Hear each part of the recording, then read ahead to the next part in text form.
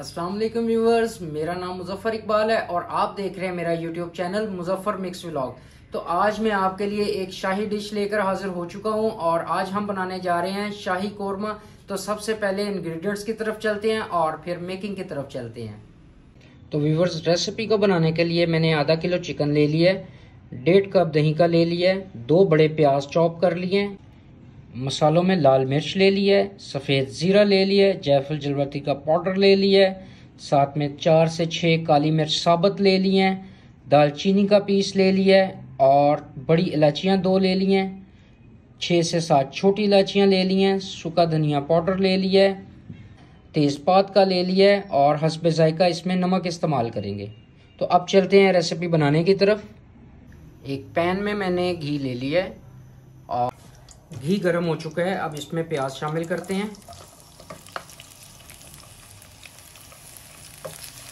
और इसको light brown सा कलर देने तक इसी तरीके से हल्का हल्का सा हिलाते रहेंगे। प्याज अच्छे से लाल हो रहे हैं। प्याज लाइट ब्राउन हो चुके हैं। अब हम इनको किसी बर्तन में निकाल लेते हैं। से मैंने प्याज़ों को निकाला था, अब उसी घी को मैंने थोड़ा सा ठंडा कर लिया और इसमें अब चिकन को शामिल करते हैं।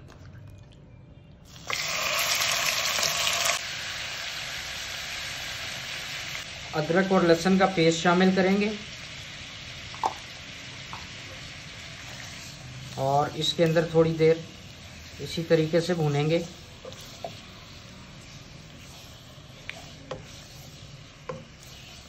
और साथ ही हम जो हमारे साबत मसाले थे, वो इसमें शामिल करेंगे, जिसमें सबसे पहले मैं ज़ीरा डालूँगा।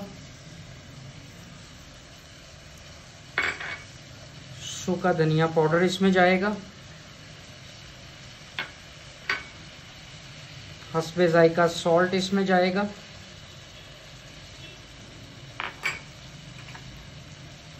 थोड़ी सी लाल मिर्च शामिल करेंगे। और थोड़ी देर इसको इसी तरीके से भूनेंगे। ताकि मसालों का फ्लेवर जो है वो अच्छे तरीके से बाहर आ जाए। तीन से चार जो सब्ज़ इलायचियाँ थी, मैंने इनको थोड़ा सा कूट लिया है और मैं इसके अंदर शामिल करूँगा। इसके साथ ही जो हमारे बड़े मसाले थे, जिसमें बड़ी इलायची थी, आठ से दस काली मिर्चें थीं, दालचीनी थी जयफल जलवतरी का थोड़ा सा पाउडर था, वो इसमें शामिल करेंगे।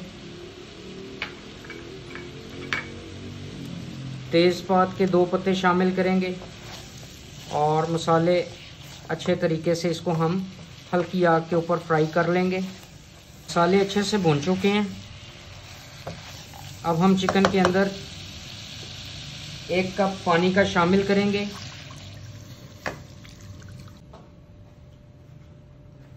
अच्छे तरीके से मिक्स करने के बाद इसको 10 से 15 मिनट आप हल्की आग के ऊपर इसी तरीके से चिकन जब तक नरम नहीं हो जाता, इसको पकाएँगे। चिकन हल्की आग पे पक रहा है, उतनी देर में हम दही के अंदर जो हमने प्याज लाल किए थे, उसको अच्छे तरीके से ग्राइंड करके एक पेस्ट बना लेते हैं। अगर चेक करते हैं कि चिकन कितना गला है। तो इसमें अभी थोड़ा सा पानी शामिल है, इसमें पानी डला हुआ है अभी। पानी जब तक इसका पूरी तरह से खुश्क नहीं हो जाता, हम इसको हल्की आग पे इसी तरीके से पकने देंगे। चिकन का पानी अच्छे तरीके से ड्राई करने के बाद हम इसके अंदर जो कौरमे की जान है, जो जादू हमने बनाया है, वो इसके अंदर शामिल करेंगे।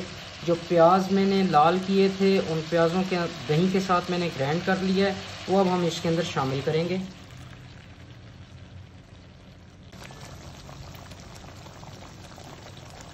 कौरमा बहुत अच्छे से पक रहा है और एक बहुत खूबसूरत सा कलर इसमें आ चुका है।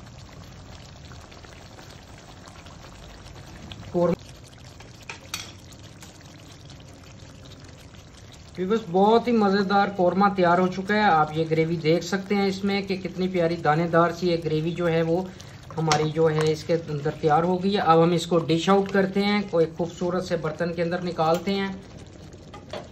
तो एक खूबसूरत सी मैंने एक डिश ले ली है, उसके अंदर अब हम इसको डिश आउट करेंगे।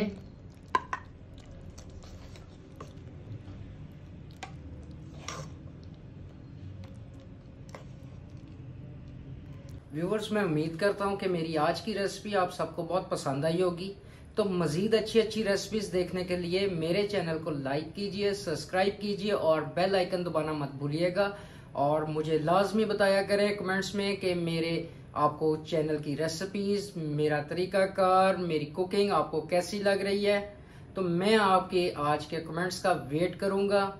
अपनी दुआओं में याद रखिए, मुजफ्फर इकबाल को इजाज़त दीजिए। अल्लाह हाफिज़।